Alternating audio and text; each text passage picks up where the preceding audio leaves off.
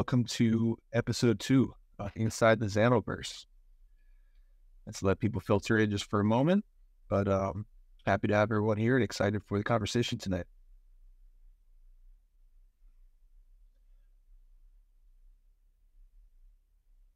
I think we got Zoidberg, we got Pavel, we got Roger, and then Quibs. Okay, cool. It looks like everyone's here.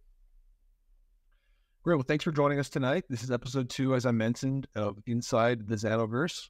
Um, have a few team members here, along with a special guest, as you can see, Roger Ver, to discuss the latest developments of Zano, uh, the new Arcanum release, and um, some other privacy topics that um, are of interest. So, my name is Nightman. I'm a crypto enthusiast, a privacy advocate, uh, NFT collector, etc. I'm excited to host the conversation tonight. Uh, we got a great group of people. Um, got some really cool people from the Zano team and Roger, obviously. So um, let me start by introducing some of the members from the Zano team uh, who will be on the call here with us tonight. So we have Crypto Zoidberg. He's one of the co-founders. Uh, Andre. Yeah. Hi, everyone. And then we have Pavel. He is Ravaga. Ravaga. I don't know how we say that. He's also a co-founder. Morning, everyone. Yeah, that's fine. You can go with whatever. No Pavel. And then Mr. Quibs, he's on the main account. I don't know if he'll be able to speak as much, but he's a, he's right here with us. Hey guys, yes, I'm here. Sweet. And I believe that's everyone from our team. And then our guest tonight is none other than Roger Ver, uh, Bitcoin Jesus. He's an early Bitcoin investor and uh, advocate for the space. Got a ton of knowledge, so I'll let him uh, give a short intro, but I'm sure we all know who he is. But welcome, Roger. Thanks for joining us tonight.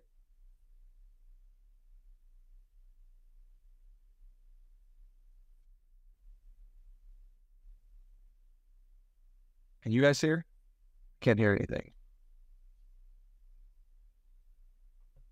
Roger is here. I'm not sure if it's my technical difficulties. Um, let me see. No, me either. I think it's a mic issue. Okay, we'll give him a couple minutes. But we're excited. We're um, got a lot of things coming down the pipe for Zano. Um, there's some really cool releases coming up that I'm just going to open the doors for so much adoption and innovation um, in the privacy space and in general because it's a crucial tool that crypto needs. So um, we're excited to get Roger's thoughts and opinions on kind of what attracted him to the project and some of the cool things we're all looking forward to. So We'll get him up here soon. Zoidberg, how are you? How's it going? Yeah, everything is cool. A little bit uh, early here in our place, but everything is cool. Nice, very nice. Glad to have you. Last week we had some issues with travel. Um, yeah, few timing issues, but luckily this time, uh, well, actually, we still have some issues. It seems like Mr. Quib was on a boat that uh, hit some rocks or something. So he's had a little delayed, but you know, not the end of the world. Looks like we got it. But yeah, up. There we go. Yeah, I was supposed to um to be on the ferry uh, yesterday, but the ferry here hit the wharf, and I know people can hear me now. Made a big gap in. Yes, sir. Welcome, Fantastic. Yes. Yeah, I had to enable the the microphone access for my uh, Twitter app on this phone. So, um, and as I was going to thank you for the uh, introduction, and you said that most people maybe know who I am, but if we want Zano and cryptocurrency to grow, we need to bring new people into the cryptocurrency ecosystem who know nothing about you know Bitcoin, or Zano or myself or, or, anything at all for that matter, and let's bring them up to speed and, and show them why this is all really exciting technology and why uh, uh, I'm doing this uh, you know event around Zano because uh, a lot of people that are already in crypto more recently know me for my Bitcoin advocacy, uh, I'm sorry, Bitcoin Cash advocacy and before that, my advocacy for for Bitcoin or just you know all things crypto in general. But uh, I'm really excited to see so many people with open minds and, and on the call here. Yeah, thank you for that. And you're right. You know, we kind of get sometimes in our little ecosystem, we don't realize um, that we all were new at one point, and we all were trying to figure out what was going on, and sitting in these spaces, just trying to uh, learn and hear from people in kind of more natural conversations about what to make sense of this whole thing. So uh, good point there. So, just uh, if you guys don't know, Roger is one of the first investors in Bitcoin. He kind of founded early on and helped support the ecosystem. So he's been around through multiple, multiple cycles. He's seen it all. Um, and he just kind of is a, a thought leader in the space. So it's really it's really awesome that we have him to share his thoughts on kind of the current state of the market, uh, Zano, privacy coins in general, um, the ecosystem and the political climate. Everything has shifted so much in the last 10 years that um, your insight here is very valuable. So appreciate you joining us tonight.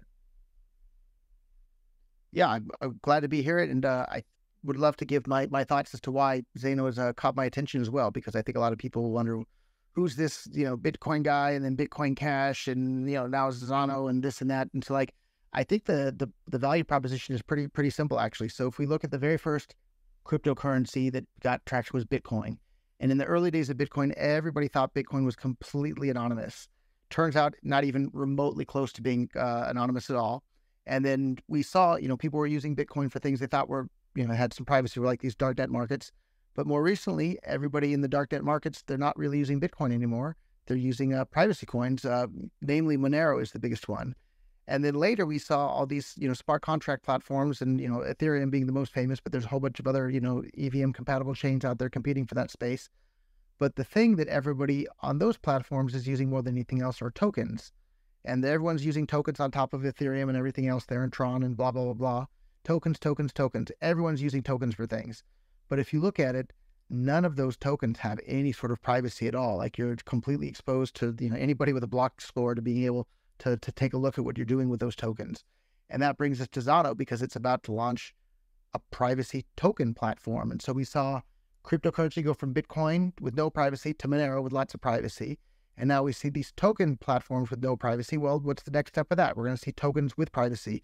I think Zano is in a in a good position to be that privacy token platform, and that's what caught my attention with that. And it's not to say it's guaranteed to be the winner or it's going to be the only one, but it's certainly one of the contenders out there, and has a really you know, fantastic dev team for a lot of people that don't know out uh, there. The people that coded up Zano are the same people that coded up uh, Monero the original time around. I think Cryptozoidberg can speak to that in even more detail in his history there. But I think that's a real, real strong indication uh, there of, of this being a powerful team and uh, powerful stuff. And uh, I'm excited to see privacy tokens come out there to the world. Like people would much rather use privacy tokens than non-private tokens, just like we've seen people rather use privacy coins than, than non-private coins for their through e-commerce uh, transactions. I mean, yeah, that makes so many good points there. Uh, at the beginning, like the killer app was that anonymous coin, since the anonymous, the anonymity of it, um, and that's kind of faded since then because of the hype and the money and this and that. But the core value, there's a lot there that, that we're missing. So that does bring us to our next question. Um, for the Zano team, could you give the brief the listeners a brief intro on Zano, the, the story behind it, the mission behind the project, and what uh, what kind of keeps you guys working at this thing so long? I could probably take this one. As Roger already told the general narrative about us being a payment method, but I could add some more details to it. Um, originally, CryptoNote protocol was the one that intended to fix Bitcoin. There was no narrative of, of privacy coins back then. It was just coins, but with CryptoNote, they tried to make it untraceable because it's a fungibility issue and one coin should always be equal to another. And this is how it originally started. Later, then uh, Zoidberg launched the Boolberry, solving a bunch of more issues like blockchain bloat and make it ASIC resistant to make it more egalitarian. Then in 2019, I, I think we launched Zano, heading even more uh, very in the direction of um, digital cash. It was an encrypted attachment. We introduced a hybrid proof for proof of stake algo, which is, I would admit, is very important because nowadays it's more about proof of stake and the idea of being more eco-friendly. And finally, our newest release, Zarcanum, brings a hidden amount proof of stake, which is another big deal, and we had a paper on it, and obviously the confidential assets, the privacy tokens. Yeah, thanks for sharing that. That was um, some of the things I was going to talk about next. We have confidential assets. We have the the ring signature. We have a lot of these cool features that that are coming out with the new Zarcanum release um, that are just going to help kind of bring out this this vision that everyone's been looking for for so long of of confidential, decentralized uh, apps. Um, Can you tell us a little bit more about the other features that are coming with Zarcanum besides the first private POS scheme? Uh, maybe explain some of the other things with ionic swaps and with with uh, the implementation of Ring CT. Yeah, I guess that's the I'm just one because he loves ionic swaps. Uh, yeah, kind of. Well, uh, first of all, I just want to make it clear what is Zarcanum, uh, because we uh, we created a little bit of confusion. Uh, originally, Zarcanum, the paper that uh, we called Zarcanum, describe uh, proof of stake on top of hidden amounts. It was a really big thing, big improvement, and uh, like uh, we were really excited about this. But also with proof of stake on top of hidden amounts, we're bringing confidential sets. That's that's uh, absolutely different technology, but it goes together with Arcanum on the next hard fork.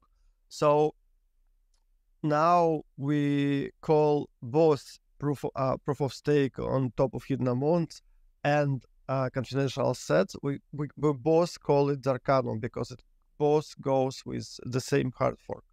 So yeah, it's two different technologies. Uh, we just bring it bring it together. It's it's really it's a really huge upgrade. We basically uh, re-implemented almost everything, uh, wallet and the core. It's uh, it's huge work. We're a little bit stressed with this because uh, it's a huge upgrade, and we are a little bit stressed that something will uh, will will go not as planned after hard fork, but uh, still we are positive about this. Hopefully everything will be fine. Um, also, yeah, as, uh, as uh, was mentioned, ionic swaps. Ionic swaps actually is not something uh, completely insane or uh, absolutely new. The the technology was idea of the technology was in the in the air, and uh, I think ideas of this um, swaps was uh, also said by different people because we last year we were on a conference on the Prague, uh, Monero conference in Prague, and uh, in in um, what is the name of this place? Pavel, do you remember? Uh, Mm, Well, I don't. It's the uh, In- Institute of yeah, the Asset or crypto anarchy. Crypt- Yeah. crypto something. So there was a guy who was uh, Right, presenting almost the same technology uh, that we use for Ionic Swap, and uh, like almost, but with the same idea. So it's very simple. Um, uh, atomic swaps this technology was uh, invented like uh, ages ago, uh, and uh, it uh, involves four transaction. It and it actually it's actually is not atomic. Uh, it takes four different steps to perform. I mean, I'm talking about uh, hash time locked uh, atomic swaps, hash time locked contracts, and um, it always gives a little bit of advantage to one of the sides. The the side that do the execution of the when the, the- side that do the third step, third transaction, it always has advantage. It think about execute or not execute. It have some time. So if you uh, in a situation of uh, high volatility when the price is jumping up and down, so the one can do uh, some calculations and uh, make more profit from this. And uh, Ionic Swap are, i- is executed in one transaction, one sing- single transaction. That the whole deal is uh, executed in one single shot. And uh, this simplicity uh, make it, I think it make it more effective. Uh, and um, we want to bring it uh, to people to build some liquidity inside Zano. So one token can be exchanged to another token or to native Zano with one single transaction. And um, yeah, that's cool. I, I- as, as was mentioned, I really like it. Uh, probably overly excited about this, but it's not perfect. Um, it's still we still have a problems, uh, not technical problems. It's a um, problem. Uh, the problem is that being a privacy project, we have problems with creating uh, matching algorithm because, for example, if you have a uh, some sort of like order book, uh, if you make it public, if you make uh, or if you make some algorithm have access to these uh, offers and uh, bids, for example, you can see the you can see this part of those transactions, and then you can guess about uh, what actually transaction hold this Ionic Swap transaction hold because you saw what was offered. So right now we building this as a peer-to-peer experience, so it will be look like if anyone had an experience with a Binance peer-to-peer or uh, local bitcoins where people basically find each other and then they make this deal. Uh, in, in in this case, uh, when you look at the transaction, uh, you cannot see how much coins was exchanged, what type of coins exchanged to what type of coins. Basically, all information is hidden. Yeah, that's um, that's a if I mean if it's not clear, if uh, it's a little bit uh, was too fast, uh, you can ask more questions about this. But and if if I can add a little bit to that, Cryptozoidberg, so like basically what he's saying is that people will be able to trade all the different privacy tokens, yeah, peer to peer on it. But it, it, we're working to make sure we maintain the privacy with that. Well, um, I see my long, long time friend Jesse Powell, the uh, founder and longtime CEO of Kraken until recently, uh, is on the call here, and I'll I'll let Jesse know like what's interesting to me about Zano. And J- Jesse was one of the very first people I ever spoke to Bitcoin about. I spoke to about Bitcoin, and at the time, everybody thought Bitcoin was was private. And then we watched people realize that Bitcoin wasn't private, and they switched doing their e-commerce away from Bitcoin into things like Monero. And Kraken is one of the you know great uh, Western exchanges that lists Monero and has all sorts of other things. I trade on Kraken; it's been great.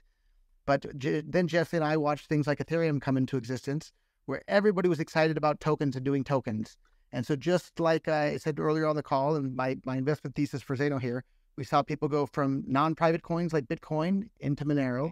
I think next we'll see people go from non private tokens into privacy tokens. And the Monero, I'm sorry, the Zano platform is looks like it's going to be a great platform for these privacy tokens. And while we're figuring out how to do the peer to peer trading for the Zano tokens, well, centralized exchanges like maybe Kraken in the future will be right there willing to, to step up to the plate and uh, help enable these sorts of things as well because people just like they prefer privacy coins to non-privacy coins, I think they'll prefer private tokens to non-private tokens. You don't need everybody in the entire world being able to see every single fin- financial transaction you make. And uh, glad to see uh, Jesse still in the space. Uh, here, uh, I haven't talked to you for a while, Jesse, but nice to see you in here. Yeah, thanks for those comments. Very good insight. Um, so when you see Zano, when you see all these kind of native features that are coming out, um, is this stuff that you haven't seen with other projects and that's really stand out and that's that's kind of what attracted you um, to the project? Or does this kind of give us and give the, the listeners a little bit of a context because uh, we're kind of laymen. We don't see this. We don't see all of the new technology that comes out. We haven't seen maybe attempts at doing this in the past that haven't worked. And i'm sure you have a really good insight there. So kind of how does these how do these features um, kind of help give Zano i guess uh, an edge against what you've seen in the past yeah, well, I, I, think it's the same sort of thing. I bought my first Bitcoin when they were around a dollar each. I bought my first Monero when they were a little over a dollar each. Uh, Zano is right there, in the same position. It's about a dollar each right now. There's around 12 million of them. That means the entire market cap for all the Zano in the entire world right now is around 12 million dollars. But think about it: if if Zano and the team succeeds in building a really useful privacy token platform, all sorts of people are going to want to have privacy tokens, just like we've seen people want to use private cryptocurrencies rather than transparent cryptocurrencies. And so this is a really, really big opportunity. And one of the things being, you know, having come from the e-commerce space into cryptocurrency, using cryptocurrencies for commerce is super, super important to me. One of the projects that really caught my attention that's being built on Zano is the Zano Bazaar project, which is basically using the Zano uh, escrow API and uh, platform to be able to buy and sell anything privately with Zano right there in an uncensorable manner, built right into everything. And I don't know who the best technical person to explain on the call is about how that works, but boy, did that ever catch my attention uh, e-commerce for me is what crypto is all about uh, to begin with, and so I'm excited to see that. And if there's someone else on here that can talk more about uh, uh Zano Bazaar, uh, I'd love to hear more of the details about what's going on or what other exciting use cases for privacy tokens people see out there. We could invite Kexploit, the lead developer on Bazaar. We are in touch, and uh, I know very well of the idea behind his project. Yeah, and I see lots of the my Bitcoin Cash friends have joined the the, the I don't know podcast or whatever we're calling the Twitter space here on X. Um, that doesn't mean I'm not a fan of Bitcoin Cash at all. Like, there's lots of great action happening there, but like, you know, diversity uh, in experimentation in the cryptocurrency thing leads to you know at least one outcome that's going to be really really useful to people uh, around the world. So let's have some uh, friendly competition and collaboration between all the different uh, cryptocurrencies out there, including Zano and Bitcoin Cash and, and everything else for that matter. Yeah, I don't see Catchbook in the audience, or else we'd bring him up um, to explain the, the Zano Bazaar project a little bit more. Uh, but yeah, I mean, that's still, like you said, that goes back to the core use case, the core thing that people are looking for. Um, and it just provides more sovereignty, more decentralization, which is kind of what we're all here for, uh, enabling people to kind of operate how they want to uh, in a trustless environment. So, um, well, in that in that case, I can get like a brief overview because I'm not familiar with like everything what he does because he is implementing NEEM, I think, right now, and this is like way beyond my understanding of the project. But I can tell exactly what parts of Zano is being used for Bazaar. Like Exploit is working with the Zano Marketplace API that allows any Zano user to post their listings on top of blockchain and also utilizing escrow contract that allow um, people trade using their Zano as collateral. And obviously, after the kind of hard fork, they'll be um, they'll be using not only Zano native coin, but any tokens working on top of Zano blockchain. So, you know, for example, if you make it stable coin of Zano, you can also trade using it because all our confidential assets possess the same functionality as the native coin.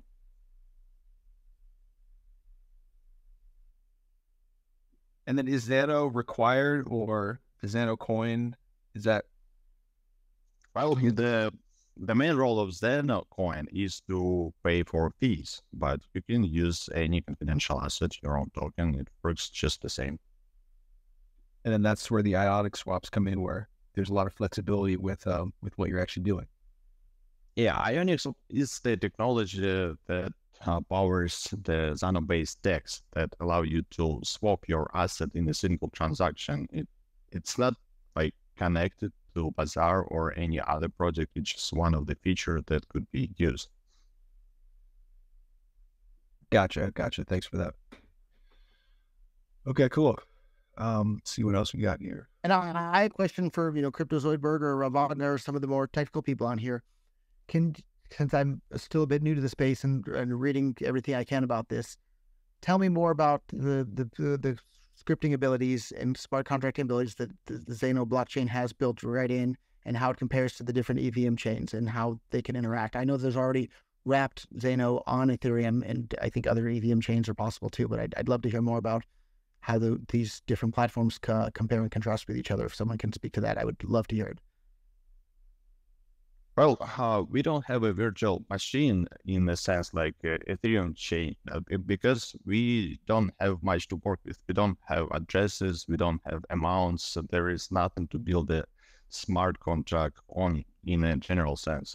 What we get is some pre-built things like escrow contracts and tokens, uh, um, but we don't have the programmatic ability. And I believe we shouldn't even try to do that because it bulks up the chain and it should be transparent in certain sense for a smart contract to be like a real verifiable smart contract you should be able to see the source code. Otherwise you don't know what you're committing to. And what we think we are going to do and we are already actually doing it we are building bridges and the wrapped Zano is just the early implementation of that but we are uh, building the bridge that would connect tokens, Zano with a bunch of EVM compatible chains, as well as Solana, Cosmos, and other ecosystems.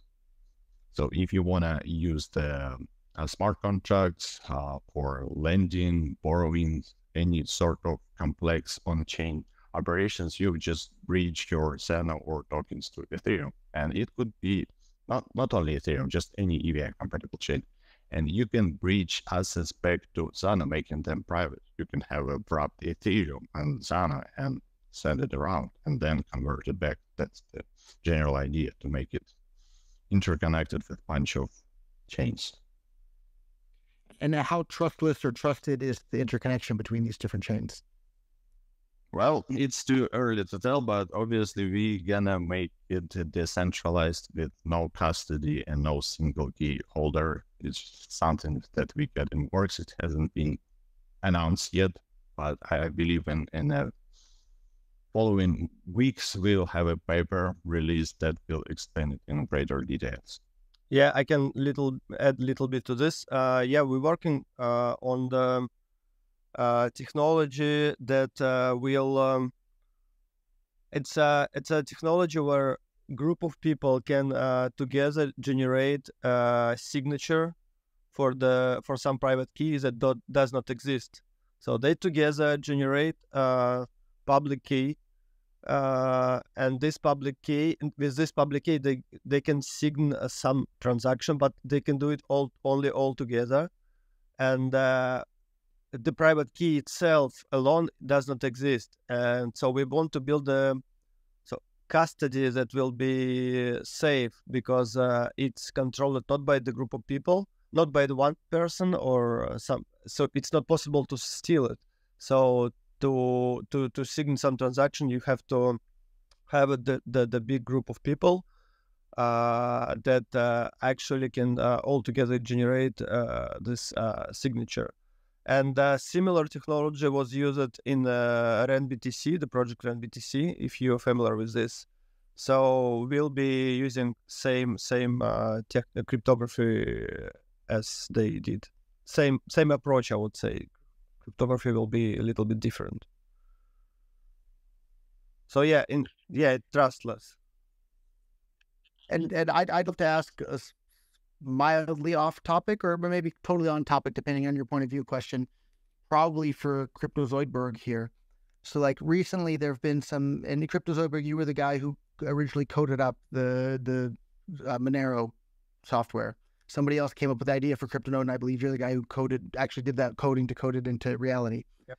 And recently, there have been quite a few accusations about uh, Fluffy Pony and exit scams and this and that. And we don't need to go into the details, but the, the question I have for you, just broadly speaking, I've, I've watched what I think happened to Bitcoin.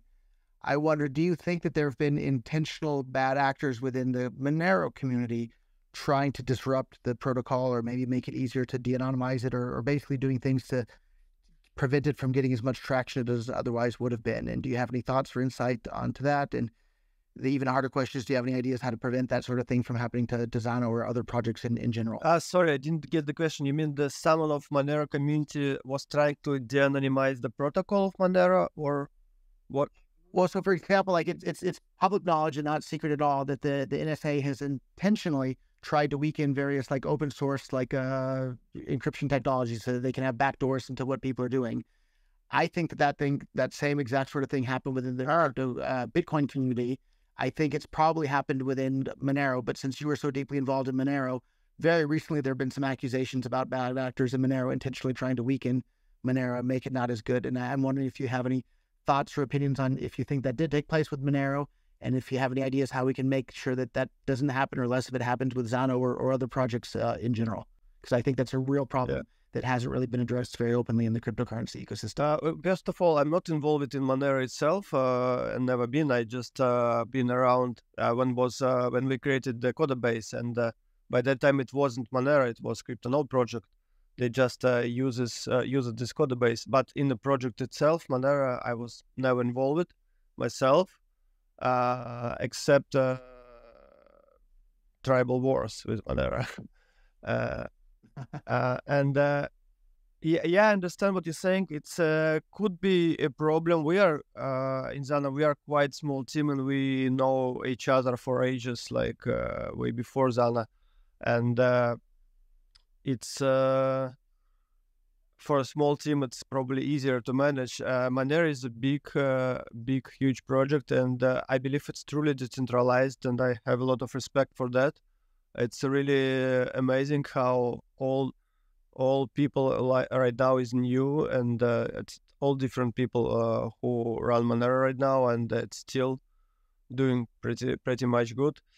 Um, I think Monero has a pretty big uh, community of developers and community of researchers who watch into the code, and they have a um, sometimes uh, maybe not, but mostly they have a very healthy technical discussions about uh, what they're doing, what direction they're moving.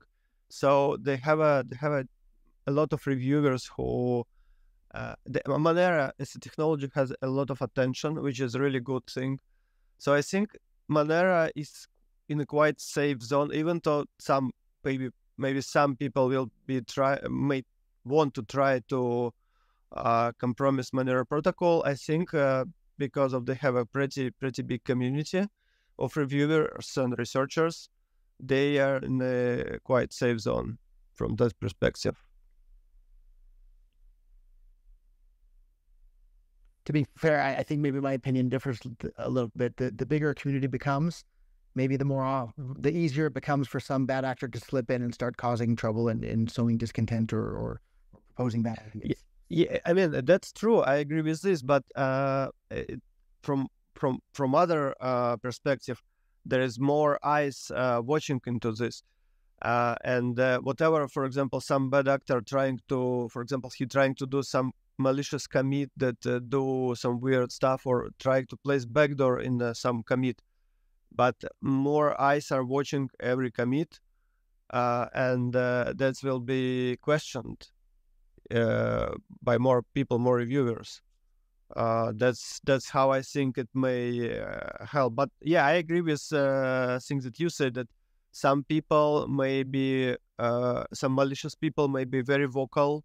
They can try to confuse uh, other people or uh, mislead other people. And uh, yeah that's that's also possible. Actually i've been uh, we've been trying to have a we, we had a few discussions about uh, proof of stake and the importance of proof of stake and they still have a, a bunch of people who believe in proof of work even though technically it's uh, kind of proven, you can see the numbers, the cost of uh, double spend attack and uh, other stuff. But for some reason, they uh, there is a group of people who believe in proof of work for, I mean, I don't know, for no reason. For for, for if you ask me, and they, uh, I mean, we can uh, interpret it as a malicious behavior too, probably from some perspective. But yeah, I mean it's not simple. There is no simple answer to this.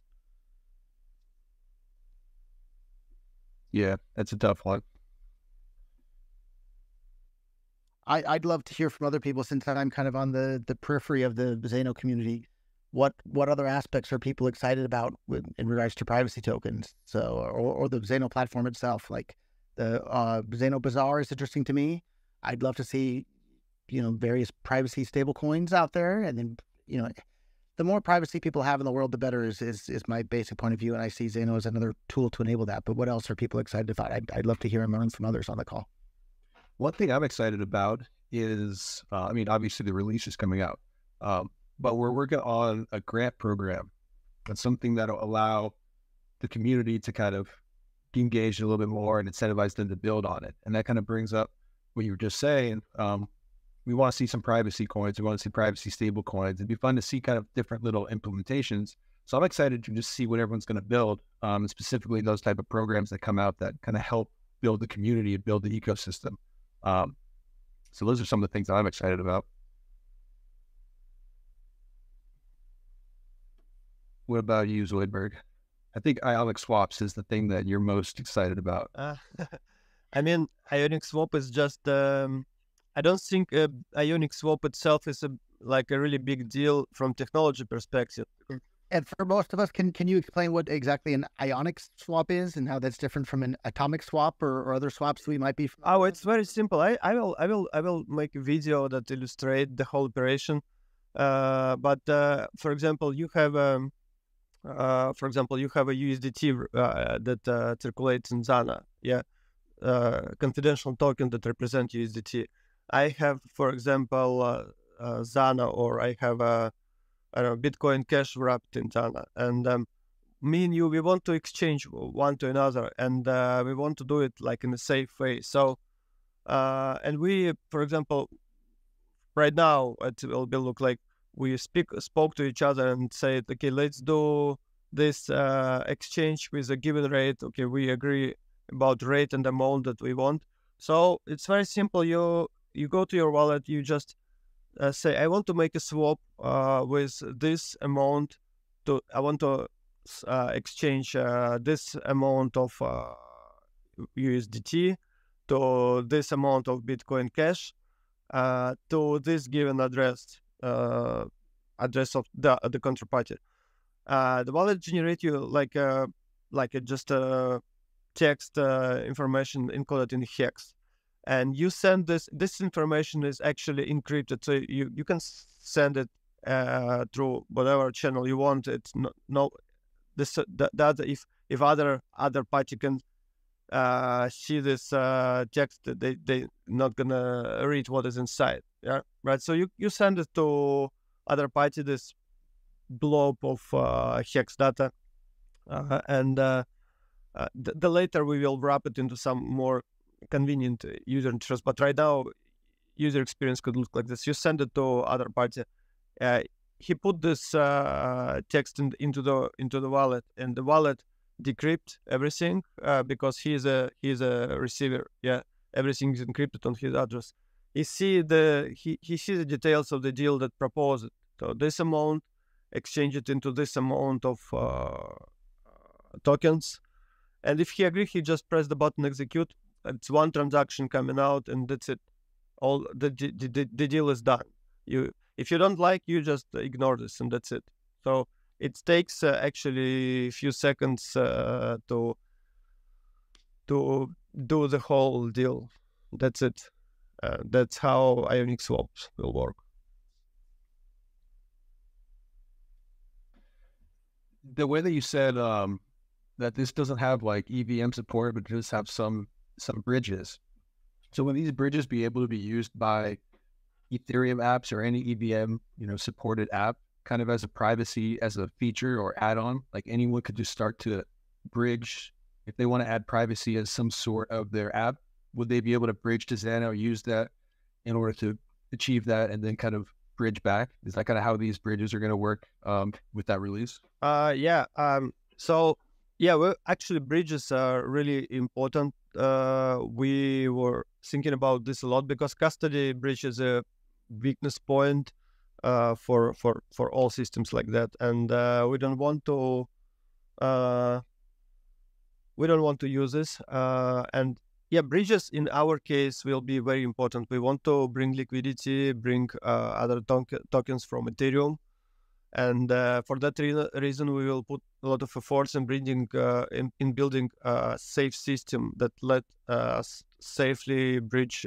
assets to to Zano and the conception that we have right now technologies that we come up right now uh, let us bridge from uh, bitcoin from ethereum and ethereum like systems because the signature is similar and uh, yeah, probably we, we will manage to do the bridging with uh, Firo project. Hi, hi Ruben.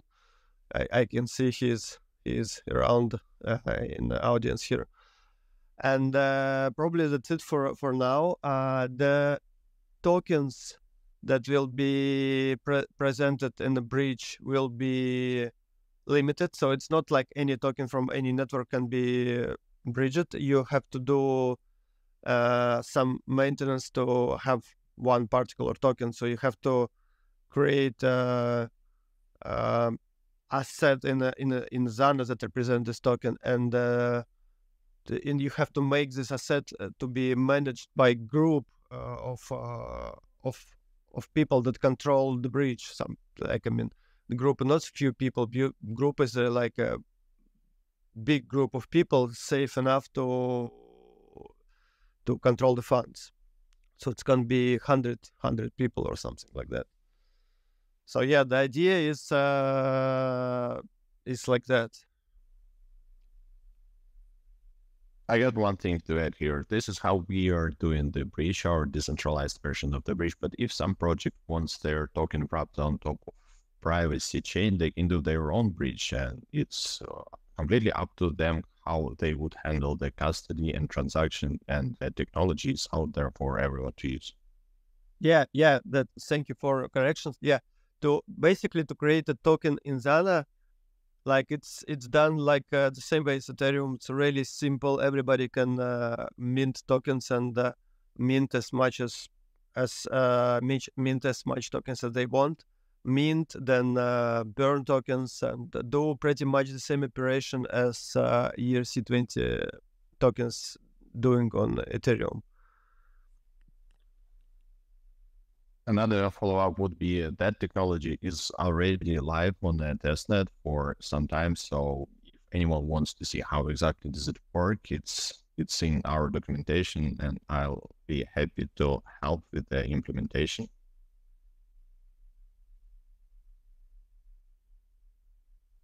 And maybe we can ask: Is there a approximate date that we can expect this to be live? I think the last time I asked that question was by before the end of the year, which is pretty soon. Is that still the case? Yep, yep, we are on track. We don't have an exact day yet, but it's scheduled sometime in December. Right, a Christmas surprise is uh, coming very soon. I really hope that it's not going to be surprises there. a Christmas gift is coming soon. That's not a surprise. So I'm, I, I think there's lots and lots of interesting token ideas that people will have out there once they realize that they can have some privacy with the tokens. I think we'll see some new things that people haven't launched uh, to date. But I, I think that's uh, that's one of the things that caught my attention about Zano is there there's not much out there in the way of other privacy token platforms or type privacy token protocols out there. So to me, this is really interesting. Yeah, can I add a few words about this? The there are a few projects that are doing uh, same, uh, uh, not same, but similar things. And it's been like uh, in the past few years. Uh, but uh, there is a few approaches to create the privacy token in in the privacy blockchain. But what was do, done before, it was a little bit different approach with um, Bitnode gives you uh, full privacy. There is a some naive approach that uh, create basically subset of uh, tokens inside the blockchain and uh, with transaction you you you can see what type of tokens are transferred right? But uh, you, you still have the same feature. You have a for example ring signature and uh, stealth address but you see the what color of the tokens go, uh, goes through the network.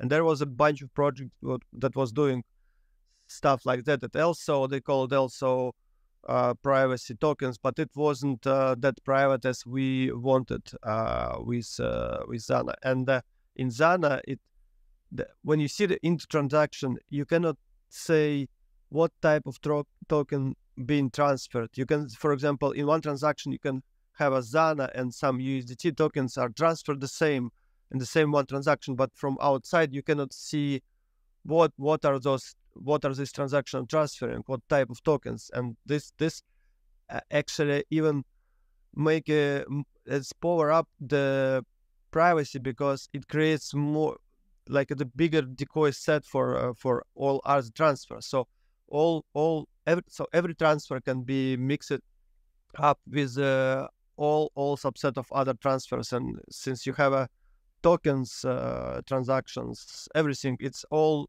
increase uh, anonymity because it's all increased decoy sets. Yeah. So in in plain English, basically what he's saying is that on the Zano blockchain when people are making a token transaction or a native Zano coin transaction, all they'll be able to see by looking at the blockchain is that a transaction happened, and they won't know which token it was or which exactly you know, was the native coin. They see a transaction happened. That's all they know. They don't know the amount. They don't know what what token it was. They don't even know if it was a token or the native. Yes, exactly. Like, uh, exactly. Really a great. Yeah. That's a, Luckily, I'm a native English speaker, so I can explain things in, in yeah, yeah, native English. But great, great job explaining that as your second language, Crypto Zoidberg. I'm, I'm always really impressed by your uh, explanations as well. and if people are up for it, I, I, see we have some people asking to ask questions from the general public. I think probably a good idea to to hear those questions yep. and and hopefully have interesting answers to them. Is uh, all my other co-hosts uh, fine with that as well? Yeah, let's do it. Um, let's see down in the chat. We have a few, right? Yeah. So here we go. Let's uh, get the first one. Here we go. Uh, Let's see. The more people we get using crypto, um, yeah. Kali Gula, however you say her name, welcome. Says he's connecting. And I see a lot of Bitcoin Cash overlap. Maybe we should do another Twitter space talking about the differences between the Zano tokens and then the new Cash tokens that just went live and Bitcoin Cash soon. So, co- colleague, uh, I, I saw you waiting for a while with a question. Go for it. Yeah, uh, Raja, thanks. I'm basically from India. This is not regarding uh, Zano specific question or the specific all about that. I mean, this is a basic question to all the people here, you know, all the crypto people. So uh, I'm totally up for this privacy coin, okay? Uh, but the question is, if there is some uh, something, you know, like theft or something like that, then how how people gonna tackle that thing? How they gonna get their fund refunded? You know, that is one question. Second question is, Roger, you are against this stablecoin concept. Better go for the privacy coin. But could you please explain what would be the basic fundamental exchange value? You know, how that's gonna be set up? So these are two questions from my side to you guys. Thank you.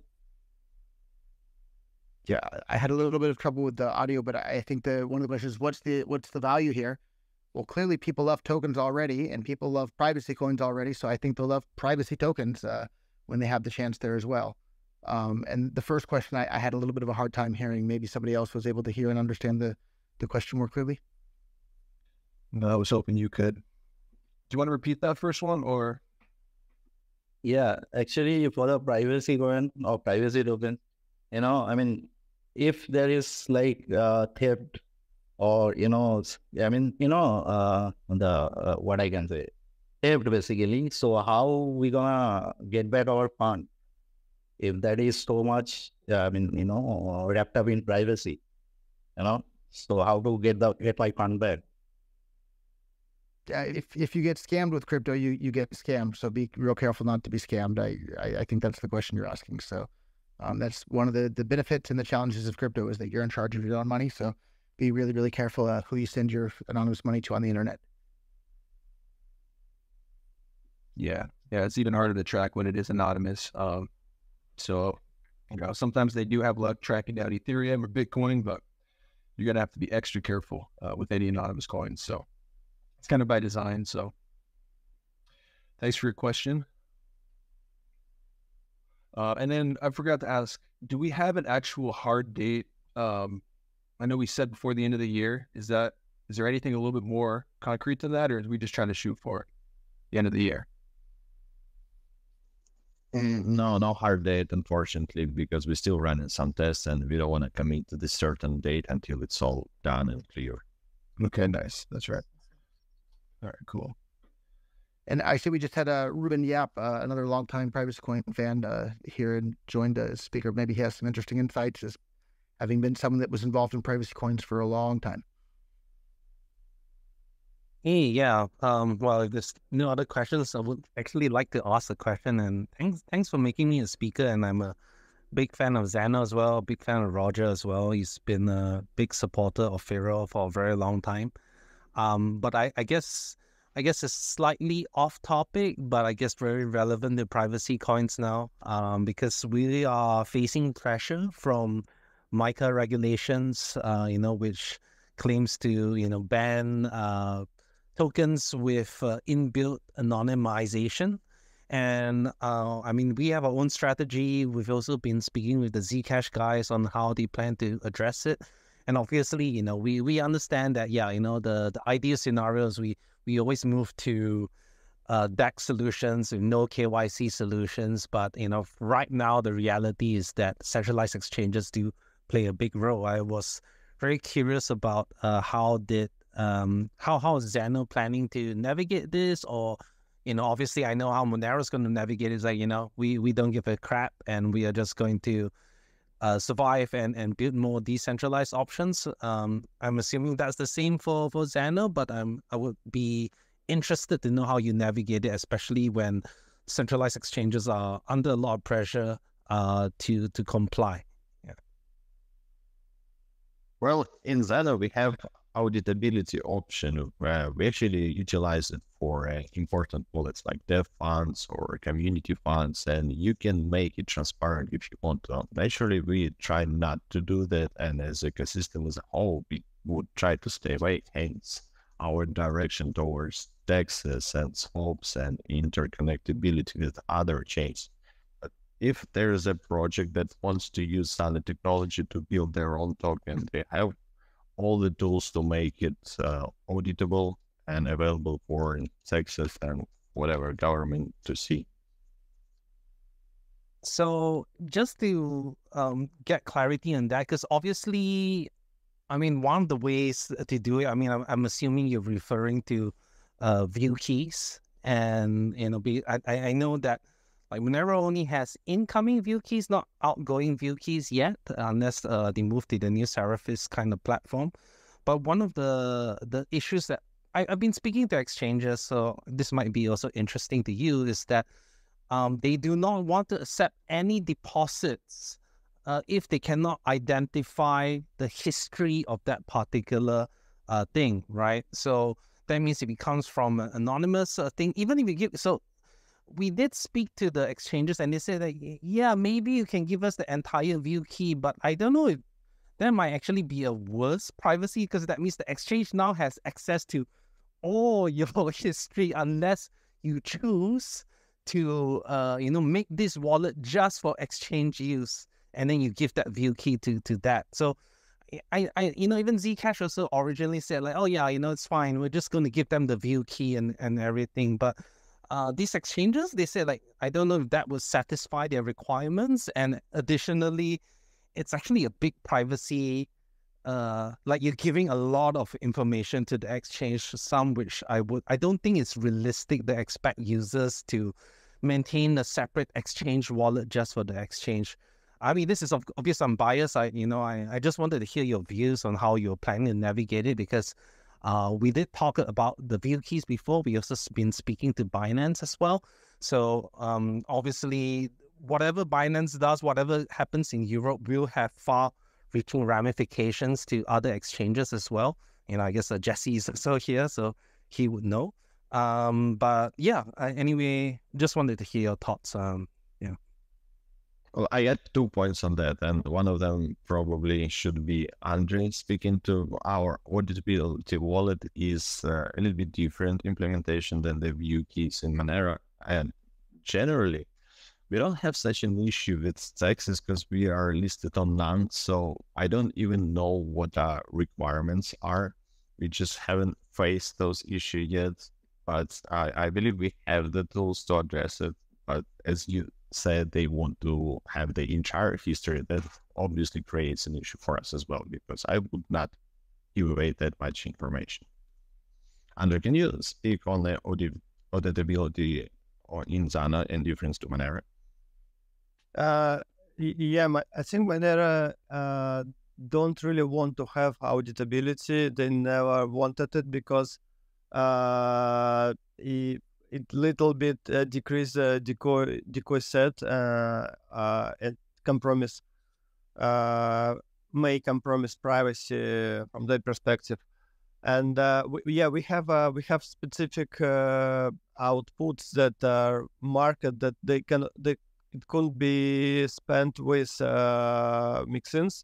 So it's little bit two different subsets. And the auditable wallet, you see you not only income but also you see outgoing transfers because it's uh, always spent without mixing, so you can you can trace it. But it's only a, a subset. So if you if you uh, create a auditable wallet, it just create a little white spot that uh, is auditable, but all transactions are around this wallet. Uh, they still they're still private. And I think the with the problem with the CEX uh, right now that uh yeah if we be honest that the privacy privacy coins even the biggest one like monero they still have a uh, not much of the volume not much of uh, use so they not really care because it's not, not much profit for them yet uh, and if situation will be changed, they will be more interested. They probably will find the way to list uh, to list uh,